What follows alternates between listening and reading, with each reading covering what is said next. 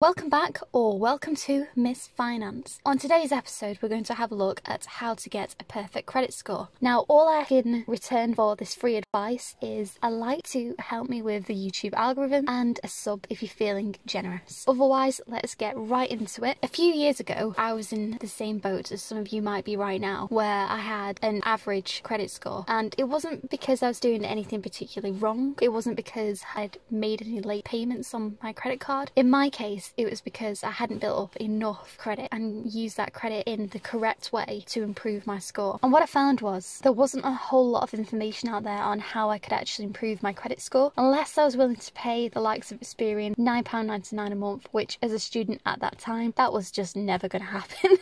that just was not in the budget. So I struggled those years in trying to improve my credit score and trying to understand exactly why I was being given this credit score. So what you might not know is if you are not currently enrolled on the electoral roll with your address, then that works against you for your credit score. So very, very easy one to tick off the list. Go get yourself enrolled. That will appear on your credit score and that will actually improve your credit score by possibly 30 points or it did in my case. If you are already enrolled on the electoral roll, I would go and check your credit score online. I do I do that with Credit Karma personally because I find them quite useful in comparison to other sites that I've tried in the past. But if you are currently enrolled but that's not showing on your credit score, then you do need to give them a call and let them know that something's gone wrong on your credit. So you want to get that fixed. Now, if you don't know how to check your credit score, again, like I've said before, I use Credit Karma. They're free to use. There are the likes of Experian, which are free to use to a certain degree. So Experian will give you a score out of 999, whereas the others give you a score out of 710. So if you get a different score with Experian than other credit score companies, it's not that you're doing anything wrong, it's just the way that they're measuring that. My next tip would be something that I've mentioned time and time again in other videos. Whilst you might have a credit limit of say £10,000 or £5,000, we'll go with the £10,000 in this example, you don't want to be using more than 10 to 25% of that £10,000. So the maximum amount of balance that you want on that card is £2,500 if it is a £10,000 credit limit, and then divide that by two to get 1,250 if your credit limit is £5,000. And the reason for that is because credit card companies will have a look at your utilisation on that card, and if it goes above that point, then that works against you.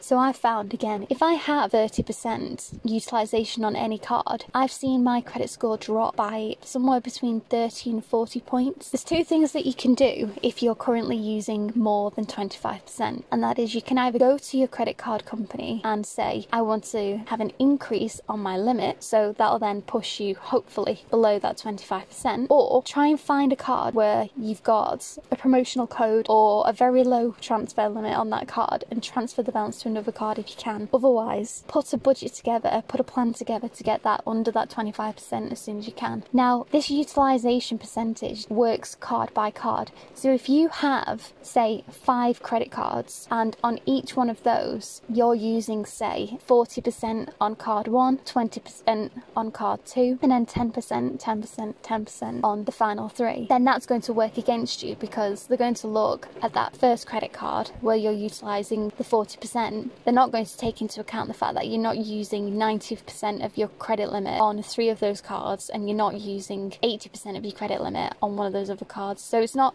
it's not an average, it's card by card is what I'm trying to get across. Now another thing that you might not know is that credit card companies take into account the average length of credit that you have. So in my instance, I took out a credit card about five years before this point when I was looking at my credit score. And I'd had that card and I'd had amounts on there. I'd never fully cleared off the amount down to nil. So I'd had a credit on there for those five years before. And then I think I had another credit card. So they take into account at that point whatever that credit is, they would divide that by five to six years. So they're taking an average of what your total credit amount is. And so if you have a credit card currently that you're not using that you've had for quite a while, don't close that down if you can because that's going to negatively affect your score. So you might see that if you close down a credit card which seems a bit weird. It seems almost like the opposite. You're being punished for closing a card down that you don't need to use because you don't require that credit. It's best just to keep hold of that card for a rainy day. Worst case scenario, ring up the credit card company and say,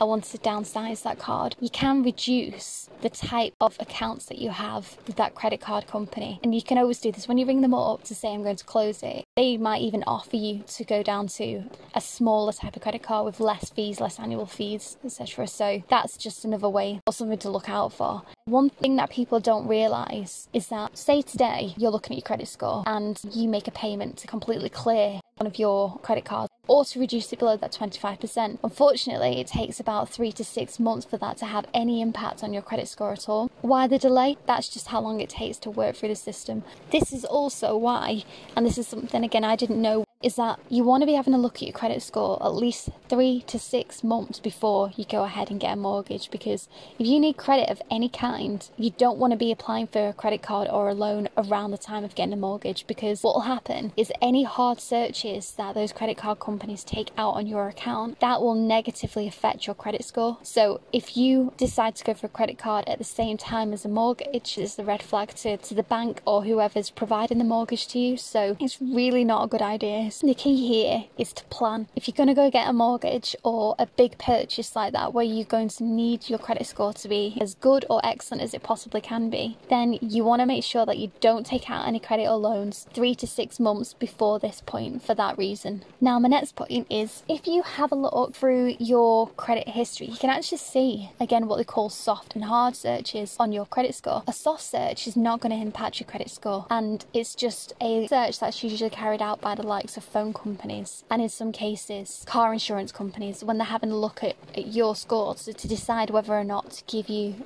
insurance. So if you have a little look through there and you see something that's actually coming up as a hard search when it should have been a soft search, and you can have a look online for various types of soft searches as well, do your own research. And if you find out there's a hard search on there, you can go and ring that company up and say, hang on a minute, you've put a hard search on my account that's negatively affected my credit score. Can you please take a look? And in a lot of cases, they'll then change that on their end and notify the credit bureau. So that's something that you can do if you do find an error of any kind. There is also an option.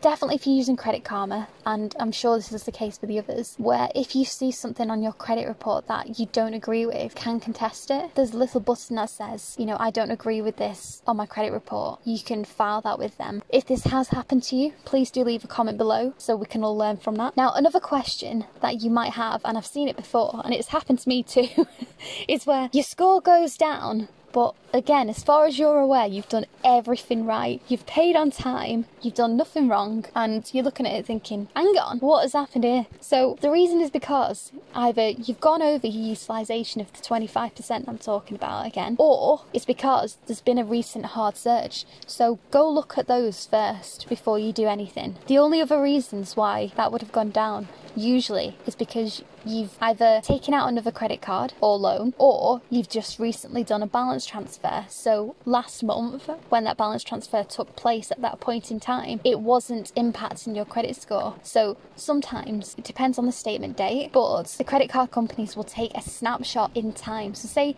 at the very end of the month, they take a snapshot of your account. So, say the 31st of July. So they're going to take a snapshot of your account on that date. But on the 30th of July, let's say you did a balance transfer. So if they look at that credit card, you don't have a balance on there because you've transferred the entire balance off to another credit card. Now, if we go over to credit card B, that amount that you've transferred onto there is not currently showing. So when they take their snippet at that point in time, there's nothing on there either. So when that gets reported to the credit card companies, they will see you've paid off all of that amount but that is not anywhere else. So your credit score will temporarily go up potentially. So if it's gone down, it might be because this is the next month after. So when they're then taking their little screenshot in time, it's now showing up. So that could impact your score too. So that's something else to watch out for or be aware of. The other question people ask is, well, has my credit score gone down or will my credit score be impacted because I have more than one card? And the answer is no. I'll delve into this a lot deeper on another video, but it's actually good to have more than one card. I know when I first started out with credit cards, I actually applied for two credit cards and got accepted by both, and I took them both out. I didn't know at the time that that would do me any good, but it does because by utilising the credit on both those cards within the 25%, I was actually building my credit rapport quicker than if I'd had one. Disclaimer as always, you need to make sure if you're taking out credit cards or loans of any kind that you can pay that money back. Always make sure that you're in control and that you know that you're not going to be tempted to go out and make massive purchases for no reason that you can pay the money back. Never borrow more than you can pay back. Now, if you found this video useful, please do leave a comment below or if you have any questions, if you've got your own story to tell, if you've put any of this advice into practice, then I'd love to hear back. Otherwise, I hope you have a nice day and I shall see you on the next video.